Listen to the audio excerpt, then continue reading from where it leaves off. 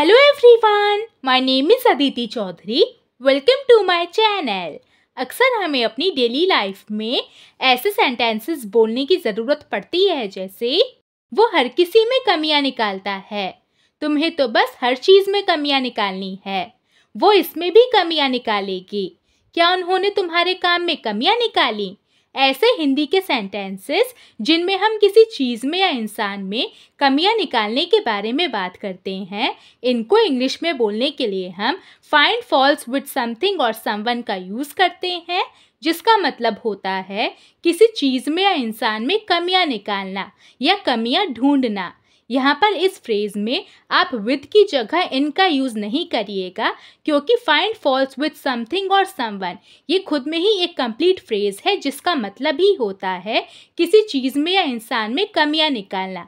तो आपको यहाँ पर विद की जगह इनका यूज़ नहीं करना है। चलिए इसको लेकर सेंटेंसेस बनाने का रूल देखते हैं। इसके रूल में सबसे पहले सब्जेक्ट आता है। सब्जेक्ट के बाद सब्जेक्ट और टेंस के अकॉर्डिंग हेल्पिंग वर्ब आती है। इसके बाद फाइंड फॉल्स विद आता है और लास्ट में ऑब्जेक्ट नाउन या फिर ऑब्जेक्ट प्रोनाउन, इन दोनों में से कोई एक आता है। अगर किसी का नाम ले रहे हैं तो नाउन आएगा और अगर नाम नहीं ले रहे हैं तो प्रोनाउन आएगा। जैसे कि me, you, him, her, us, them और यहाँ पर ये जो फाइंड है, ये मेन वर्ब की तरह यूज़ होता है। जो कि सब्जेक्ट और टेंस के अकॉर्डिंग चेंज भी हो सकता है, जैसे कि फाइंड्स फाउंड फाइंडिंग चलिए आप कुछ एग्जाम्पल्स देखते हैं, जिससे आपको इसका मतलब पूरी तरह से समझ में आ जाए।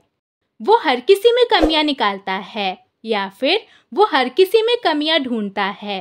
He finds fault with everyone he finds fault with everyone तुम्हें तो बस हर चीज़ में कमियाँ निकालनी है। You just have to find faults with everything. You just have to find faults with everything. वो इसमें भी कमियां निकालेगी She will find faults with it too. She will find faults with it too. तुम उसके काम में कमियां नहीं निकाल सकते You can't find faults with his work. You can't find faults with his work. उसने मेरे प्लान में कमियां निकाली She found faults with my plan. She found faults with my plan क्या उन्होंने तुम्हारे काम में कमियाँ निकाली? Did they find faults with your work did they find faults with your work क्या वो उसमें कमियाँ निकाल रही थी? Was she finding faults with it was she finding faults with it तुम हर चीज़ में कमियाँ क्यों निकालते हो?